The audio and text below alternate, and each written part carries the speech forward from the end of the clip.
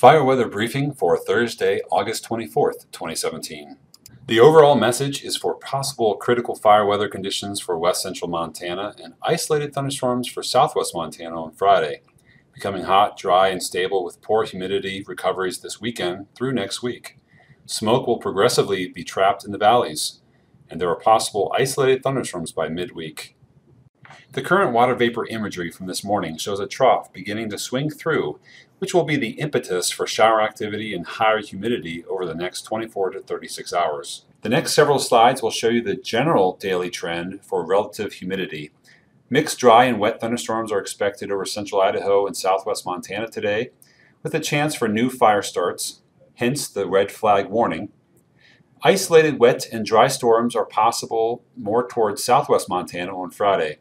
Much drier conditions will develop across northwest and west central Montana by Friday afternoon.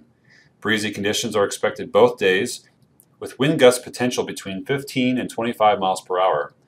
The combination of drier and breezy conditions on Friday will cause increased fire activity, especially across the Lolo National Forest. By the weekend, an upper level ridge builds in to bring more stable, hot, and dry conditions that will last through next Wednesday. With the stable conditions, valley smoke will once again become more of a problem. The upper level wind flow by Sunday becomes more southwesterly, which will allow for upstream wildfire smoke in Oregon to move up here.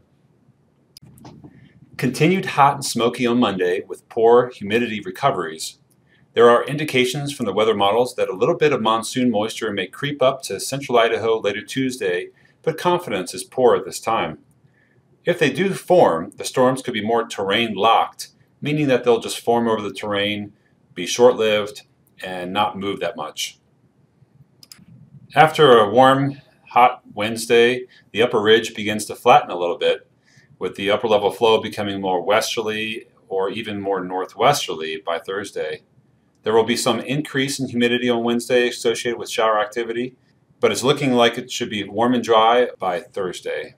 The Climate Prediction Center 8 to 14 day outlook for August 31st to September 6th calls for confidence for above normal temperatures and below normal precipitation.